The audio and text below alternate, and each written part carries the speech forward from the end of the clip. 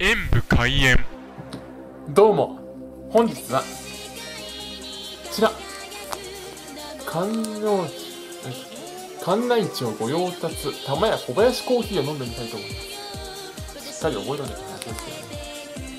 でもこれドリップなのかインスタントの粉末なのかどっちな。んだろうなまあ2ドリップと粉末間違えてえらいことになったことあるからな。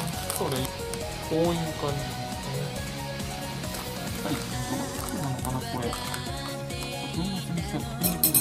と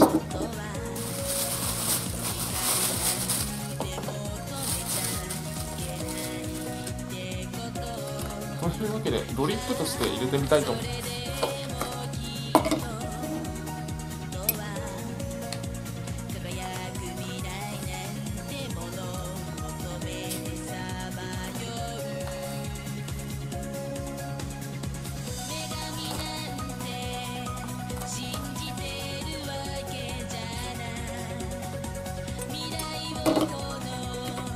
出してみるとこんな感じでした。やっぱりドリップっぽいですね、これ。で、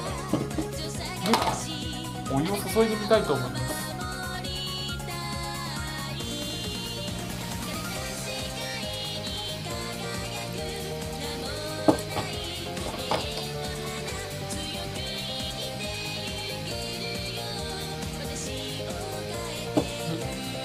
入れ終わりました。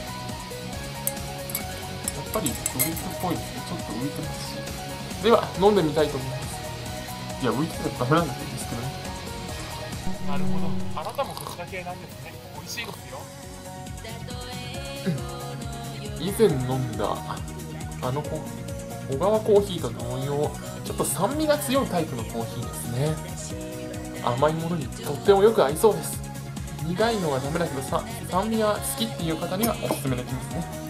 ご視聴ありがとうございました。コメントしていただけると嬉しいです。パソコンおよびスマートフォンのアプリの方はクリックをお願いします